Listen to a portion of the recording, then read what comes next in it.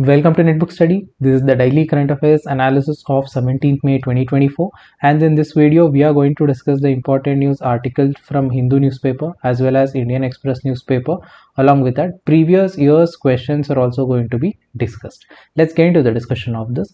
The first news article talks about PMLA. PMLA stands for Prevention of Money Laundering Act of 2002 and let's see what exactly this news article is talking about. Here it has been mentioned that Supreme Court has limited the ED's power that is in, uh, enforcement directorate's power to arrest PMLA accused here. So Supreme Court has made an observation. Supreme Court has told that see uh, if you want to arrest a person especially under PMLA charges that prevention of money laundering charges then you have to get consent of a court. This consent is mandatory if you want to arrest a person under PMLA and especially this is told to the enforcement directorate. So usually what happens enforcement directorate if it finds that particular person is involved in money laundering activity or corruption activity then what happens? It gives summons to that person. So that person has to appear in front of enforcement directorate. And enforcement directorate this is going to put that case in front of judiciary. And if judiciary finds that all the points uh, all the arguments given by enforcement directorate is the directorate is true then it is going to give permission for the arrest. But without the consent ed cannot arrest a person. This is the uh, basic thing everyone should understand. And here court has made it made it very clear that see uh, personal liberty is utmost. Personal liberty is fundamental right of our constitution. So nobody can compromise with the fundamental rights. So if the arrest ha has to happen it has to uh, it has to take consent of uh, judiciary. So this clarification has given from supreme court here with respect to arrest with respect to enforcement directorate here. So this is the news. This is the news that is mentioned in this news article.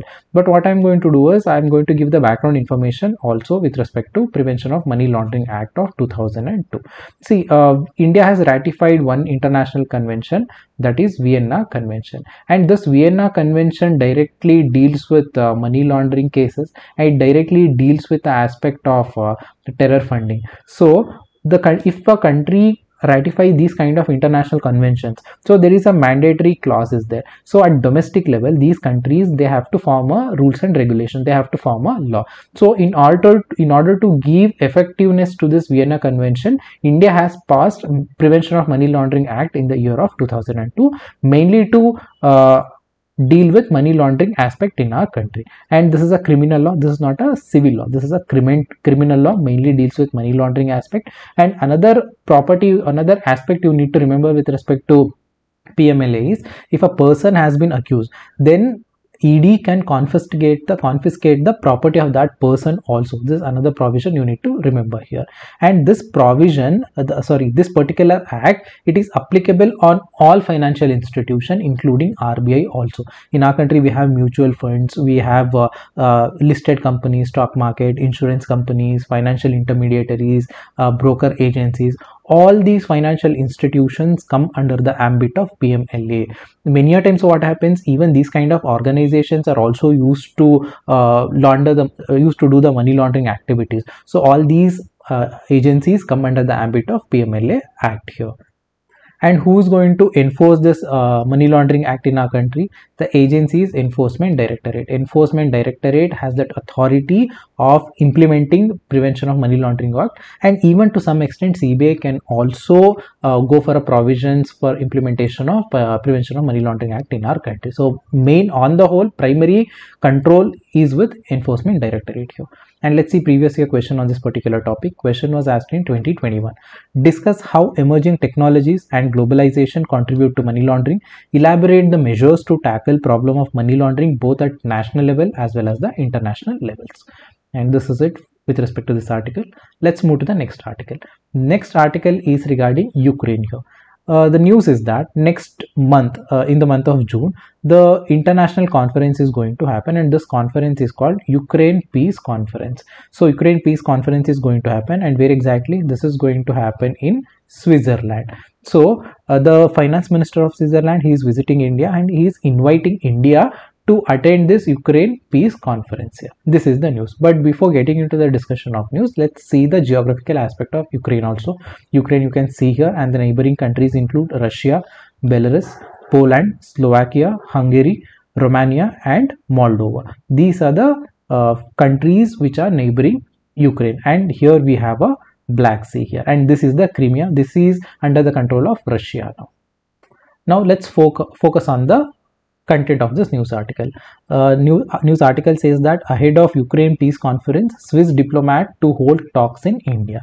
Now the question is, India is it is not a European continent. This altercation is happening in the Eurasian region. This altercation between Ukraine and Russia and India is not a stakeholder here but still why European countries want participation of India that is the question mark here the main reason here is see from almost one and a half years almost most of the european countries uh, canada america north american countries they have tried to solve this particular issues even for that matter usa put sanctions on russia also.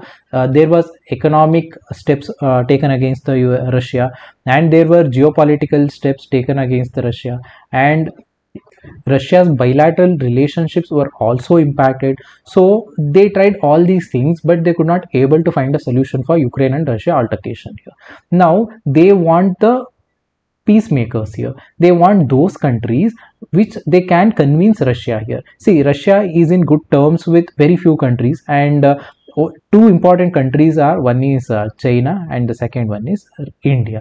These two countries, China and India, we have that flexibility. We can talk to the Russia and somehow Western countries believe that European countries believe that India and China they have that capability to convince Russia here.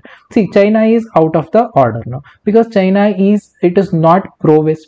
China there is kind of uh, uh, bitterness between western countries and china usa is not in favor of china. So it is very difficult for china to especially for western countries to convince china to act as a peacemaker between russia and uh, ukraine here. So the only option they are left with is india here. So india has to play active role here. This is what they are expecting because whatever they have tried it did not give results. It did not work. Now they are expecting india to row india to play an active role in this uh, aspect of russia ukraine but what India told, I, uh, this global Ukraine peace conference invitation has come to India. But India, see, we are not a stakeholders. Neither we are in that geographical locations, and neither it does not affect us directly. Yeah, indirectly it is it is going to affect India. It is going to impact India, for that matter, for entire world. But we are not the direct stakeholders here. India want to maintain that neutral positions here see we don't want to be the enemy of any country here obviously if we find ourselves as a very much pro china sorry pro russia then it is going to give a bad signal with respect to western countries also. And if we move towards the western side then this is going to give a pro-west image uh, in the eyes of russia and in the eyes of global south also. So india has to maintain that neutral order here. So that is why india is very skeptical to attend this particular conference here. And many of the diplomatic sources they are telling that see india has that reputation. Now even if you look at the g20 where russia was supporting delhi declaration and even in the brics brics summit we have a very cordial relation with russia. So india has that influential position at the international arena now. And in uh, now european countries and the western countries they want to take that influential voice and they want to take that advantage of India to deal with this issue. See, China is intelligently told that, see, we are not going to attend this particular uh, summit here and whatever the solution comes, both the parties, both Russia as well as the Ukraine, they should accept. If both the parties accept, then only the solution is viable. If uh, Ukraine accepts the solution, Russia does not accept the solution. If some solution is acceptable to Russia, but it does it is not acceptable to Ukraine, then it does not make sense. And this is what Uh, China is telling. And India is also taking a similar stand. India is also telling the same thing. Whatever the solution you take it should be acceptable to both the stakeholders both the countries here. And India is very clearly want to take a step back, very clearly want to maintain that neutral position, the diplomatically neutral position with respect to Russia and Ukraine conflict here. And this is what this article is talking about. Somewhere uh, the uh, Switzerland foreign minister, he is visiting India and he is inviting India to attend it. India is very skeptical. It has not confirmed that they are going to attend it. India is giving a reason that see uh, till June 4th, India will be busy because elections are going on. After that results will come. Then the new government has to be formed so India is not committing to attend the global Ukraine peace conference. So this is what this article is talking about. And uh, let's from the geopolitical perspective, yes, this article becomes important, but just understand why uh, these Western countries want India to be a part of this uh, Russia Ukraine process here. See another aspect here. See they are going with uh, global Ukraine peace conference. But they've not even invited Russia. And Russia actually it uh, give a signal that we are not going to attend it. So how are they going to find a solution when the major stakeholders uh, one among the major stakeholders Russia is itself is not part of this conference? So this is going to be a tricky factor here. Anyhow let us understand from a geographical perspective. Let us understand from a India's point of view. So that would be sufficient here. And let's see previous year question on this particular topic. Question is based on geography perspective in the last prelims this particular question was asked how many of above mentioned countries share land border with ukraine? Uh, six countries have been mentioned and you need to find how, how many of these countries share a land boundary. And uh, hungary it shares a boundary with uh, ukraine and uh, i think it uh, it is romania. Here you can see yes romania and hungary these two countries they share a land boundary here. And answer is only two. First answer A is the right option here. And let's move to the next topic. The next topic is regarding political parties. Let's see the article first and what this article is talking about. Can parties be derecognized or deregistered? This is the question and let's see what exactly this article is trying to say here. Let's start with the discussion. See, uh, if you look at the political parties, there are mainly three types of political parties in our country one is national political national parties. The second type comes state parties. And the third comes recognized parties. These are the primarily three types of parties. National parties uh, there are six national parties in our country and there are 61 state parties in our country. There, there are some criteria uh, go through with that also from the polity perspective that they have to get uh, the i think they have to get six percent of vote share and they have to recognize as a, a, state parties in four states and they have to get certain number of seats as well. Some criteria is there and even for the state uh, political parties also some criteria is there.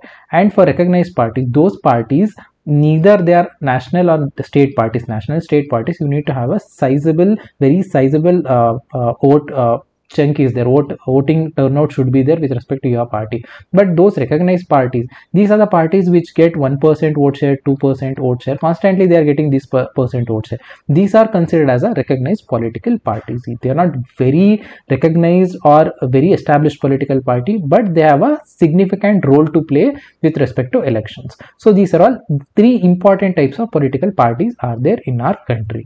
And the requirements for these parties are mentioned in representation of peoples act 1951 and especially section 29a of representation of people act of 1951 here. And see the first and foremost criteria whenever you want to register yourself as a political party what do you have to do? You have to go to the election commission of india and you have to give a memorandum. And in this memorandum you have to say that we are going to follow the constitution. We are going to follow the constitutional ethos. We have to follow the constitutional value the socialism secularism democracy republic everything. We are going to subscribe it and we we follow and we obey the constitution of india. This memorandum they have to give election commission of india. This is the first step. After the election is conducted according to the vote share according to the seat share the parties are going to get the status whether it is a national party state party or a recognized political party. So this is the basic understanding regarding uh, political parties in our country here. Let's move ahead and let's see what are the uh, advantages to register yourself as a political party and what uh, uh, benefits these political parties get. The three important aspects has been mentioned in this article. The first and foremost thing is whenever you register as a political party you can get a donation from a people. So usually people donate to a political party. Whenever they donate money to a political party there is a tax exemption. The political parties are not supposed to pay income tax here. So there is a tax ex exemption this is one aspect. And the second aspect is political parties are going to get a certain symbol for national political party. They can use the party symbol throughout the country. And for state political parties they can use the uh, symbols in the throughout the state. And for unrecognized political parties symbol will be given according to the free symbol and they can use it within the state. So these are the this is the second advantage. And the third advantage is star campaigners. For national and state political parties they can hire up to 40 they can declare up to 40 uh, state camp star campaigners. And for unrecognized parties sorry recognized parties there are 20 star campaigners. This 40 is for national parties and the state level parties. And 20 star campaigners is for a recognized political parties. So th these are three important aspects here and according to election commission of india in our country we have 2790 active registered political parties in our country.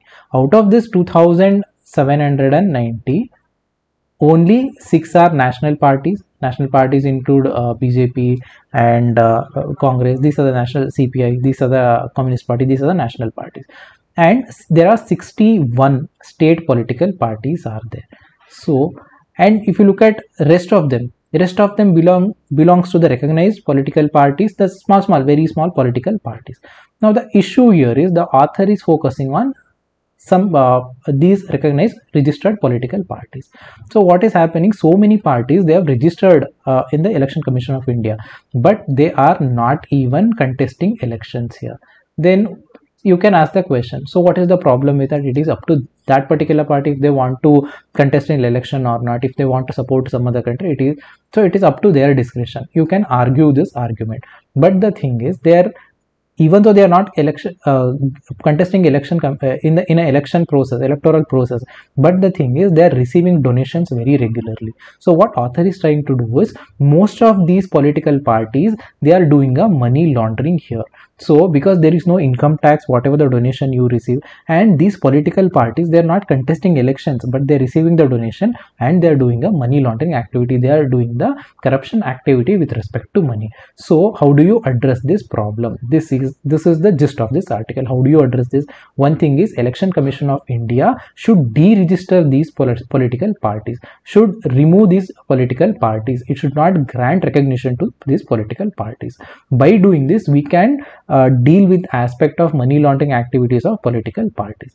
Now the question is does election commission of india does it has power to deregister or derecognize a political party? See Re representation of people act rpa 1951 it mainly talks about registration of political party. It does not mentions about deregistration of political party. And this aspect has sorry has been misused by polit Indian political parties here who are involved in money laundering activity. And another important aspect is even Election Commission of India knows that. It is also aware that they are doing money laundering activity. They are misusing the tax exemptions given by uh, Election Commission or given by the Representation of People Act. Here. So even Election Commission of India, it has given the list of electoral reforms. Uh, they have told the requested government that these electoral reforms have to be uh, implemented. And this electoral reforms uh, memorandum was given in 2016 only. Even at that time only election commission of india it has mentioned that election commission of india should get the power to deregister political parties also. And even law commission also in 2015 even under the report of electoral reforms it also mentioned that a deregistration of political parties should happen if any political parties does not contest elections for 10 years. If 10 years no election has been contested by political party then that political party should be deregistered. It is not considered as a political party. This suggestion is given by law commission. So both election commission of india as well as the law commission they have supported deregistration or derecognition of a political parties in our country. So this is what uh, author is trying to say that give that empower the election commission of india. See uh, till what extent election commission go at this point of time? Usually what happens if a, a candidate if he is not following the model code of conduct then he can be suspended for few days. If political party is not following the model code of conduct the political parties can suspend it for few days maximum that is it. And constantly violating and severely objecting the electoral process only at the extreme situation uh, po political parties can be deregistered. And this is the reason only at the extreme violation of rules and regulations here. Under the till not till after independence only once one political party has been uh, recognition has been cancelled. In 2005 in jammu and kashmir national people's party has been suspended for failure of instruction given by election commission of india especially with respect to model code of conduct. Time and again they were violating. For that reason uh, deregistration has been uh, done with respect to national people's party. Only once it has been done. It means that only at the extreme situation extreme situation you can de-recognize or deregister parties. But what about these those parties which are doing money laundering activity? There are no actions. But author is trying to say that we need to empower election commission of india make sure that these kind of political parties are de-recognized from the list of political parties. And this is what author is trying to say here and let's see the previous year question on this particular topic. Question was asked in 2020 there is a need for simplification of procedure for disqualification of persons found guilty of corrupt practices under representation of people act comment. And let's move to the next news. The next news is regarding right to property. There are so many articles today with respect to polity from the politic perspectives and one more it is there. Right to property. And here also supreme court of india it has made a observation. And this observation is with respect to right to property. And what exactly the observation is? See right to property right to private property this is a constitutional right here. Initially this was under article 31 this was a fundamental right. Later it was changed into a fundamental right to a constitutional right. Uh, this was removed and the new article was introduced in the article as article 30a and it has made one among the constitutional rights right to private property. And what was the reason to remain uh, removed from the fundamental rights? See it was removed in the 1978 see if it's a fundamental right it gets more power. You can directly contest your cases in high court and supreme court. So usually if government want to uh, uh, take up some properties especially for some projects or some railway projects or some infrastructural projects people used to go to the court people used to file a petition that our personal liberty our fundamental right has been impacted due to the state action. So these kind of cases used to be uh, very regular in judiciary. And it was directly uh, uh objecting the state's development it, is, it was directly objecting the infrastructural uh, development also in the country. So for that reason government has taken a decision that let us make it as a constitutional or, or a legal right not as a fundamental right. As long as this right to property is a fundamental right it is definitely going to impact the india's development.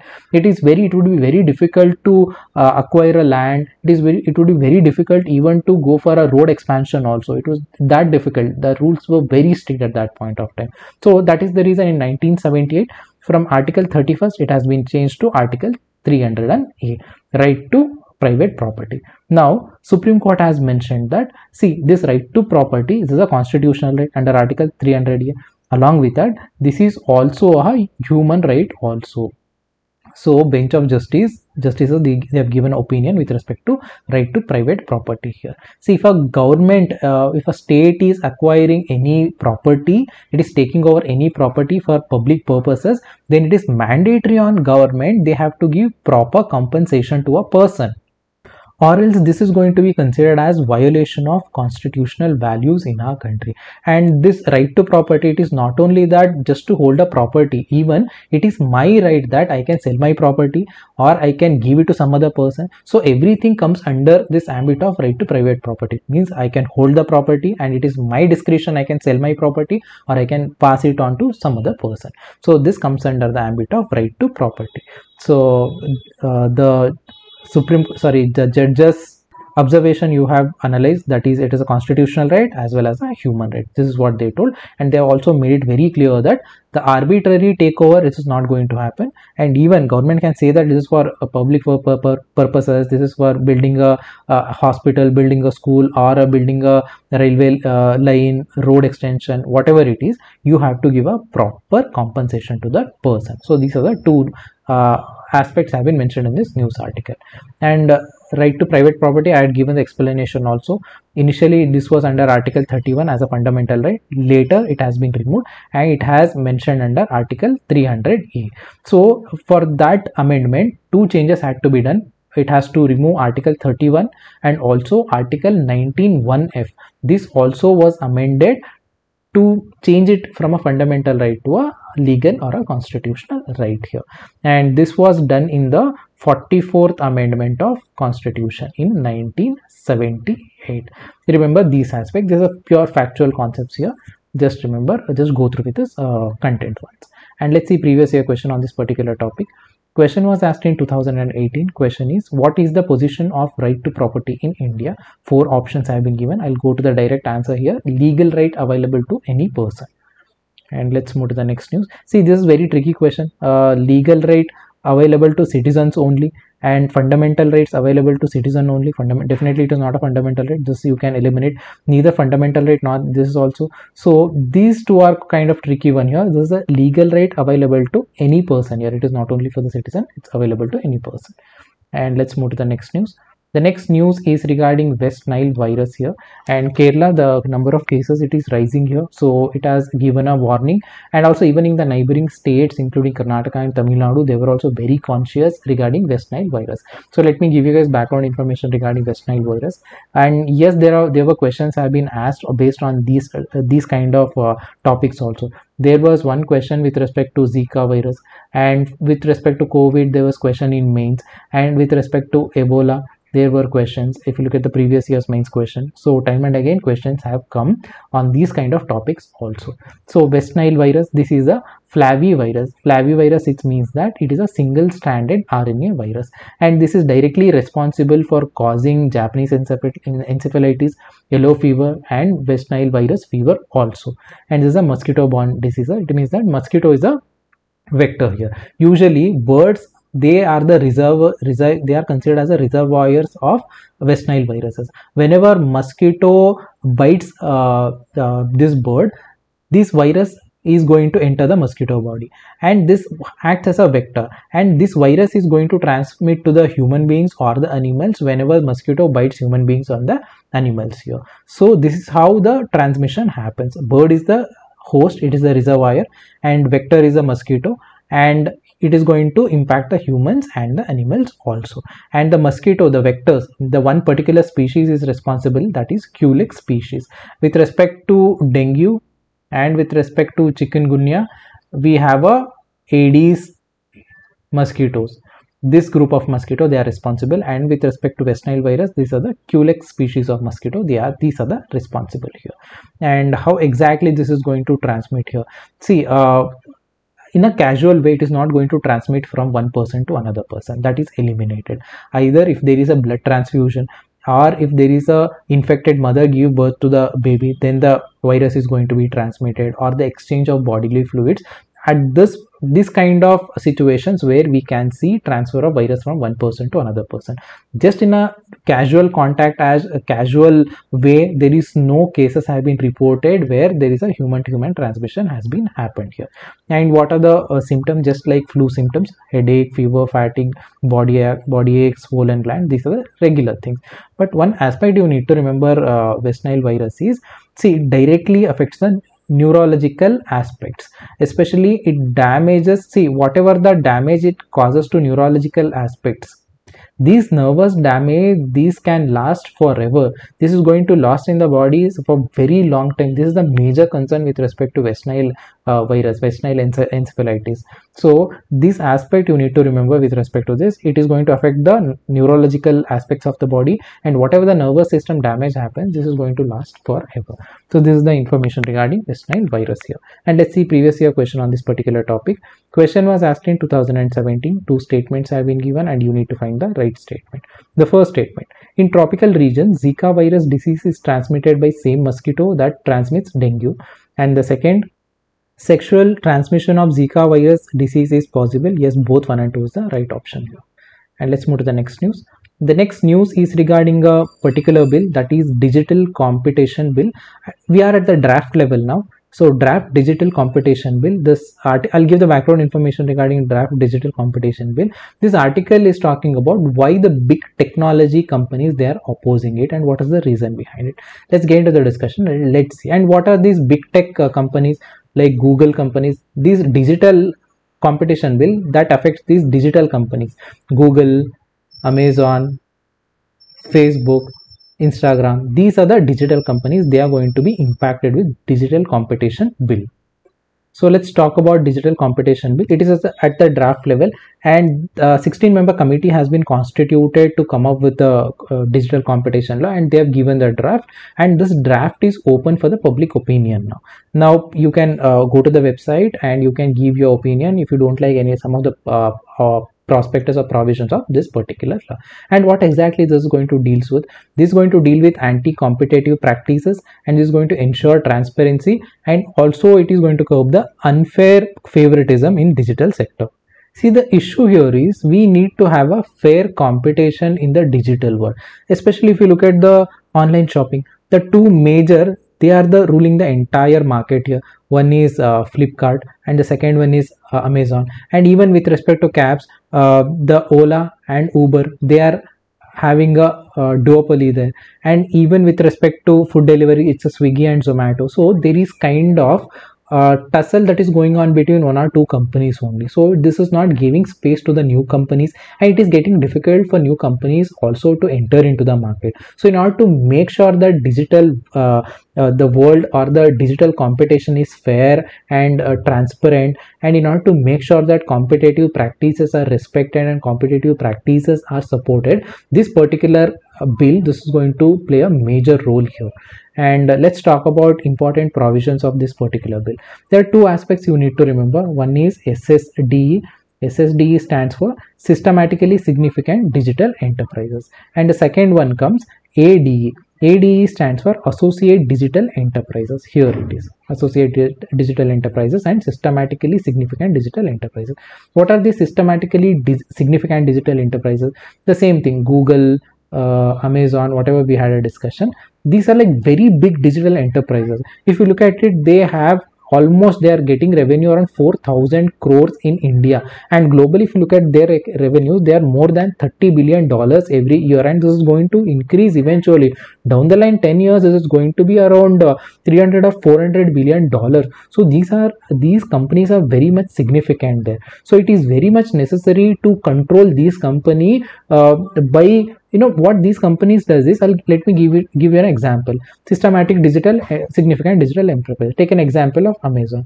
Amazon they have a shopping website here. And amazon after a few years they started one mobile phone company also amazon mobiles.